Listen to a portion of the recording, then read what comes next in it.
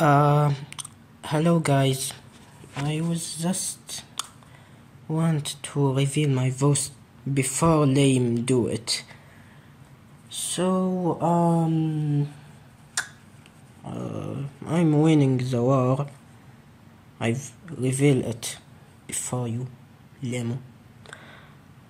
Um, so because I'm talking to you all now, I was just want to say my next video is gonna be a little different.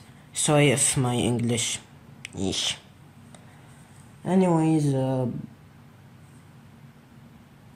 these people are killers. They give me the first footing of terms until my life ends.